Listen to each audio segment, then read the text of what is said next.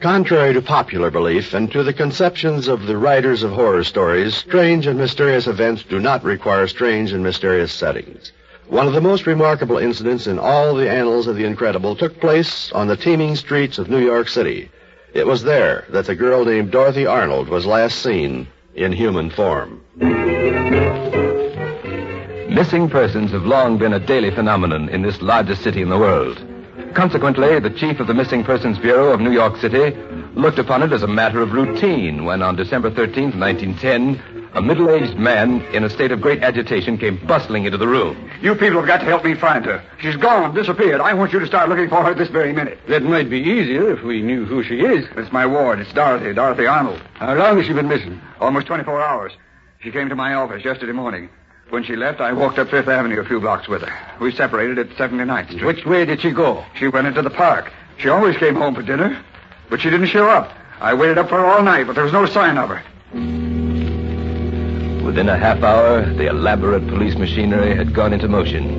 In every section of the city, it was known that Dorothy Arnold, aged 20, 5 feet 5 inches tall, blue eyes, light blonde hair, was missing. The hospital lists were scrutinized. The recent arrivals at the municipal morgues were examined closely. Shadowy figures who were well known to the police were rounded up and questioned. The following morning, the chief of the missing persons department was ready to report to Robert Decker. We haven't found a single clue so far, Mr. Decker. But I wouldn't be too discouraged if I were you. It's been our experience that when girls disappear the way your ward disappeared, it's usually because they want to. You mean you think Dorothy ran away?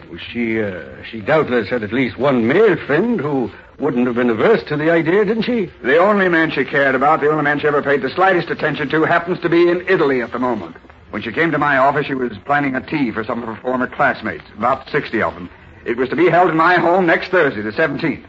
We talked about it all the way up Fifth Avenue, and Dorothy was tremendously pleased and excited about the whole thing. When she left me there at the 79th Street entrance to the park, she was well and happy. And then something happened to her. From that day until this, Dorothy Arnold has never been seen again. All this, one may say, is scarcely remarkable. But the case of Dorothy Arnold becomes remarkable when one considers an item that was printed in the pages of the New York Sun on December 13th, the day her disappearance was reported.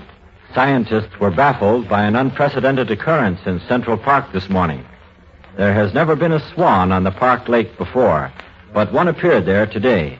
The swan, a full grown and particularly beautiful specimen, was first observed on that portion of the lake which borders the 79th Street entrance. No, Dorothy Arnold's disappearance has never been explained, nor has anyone ever been able to explain the presence of the swan on the lake in Central Park. All that can be said is that the two events occurred at the same time and in the same place.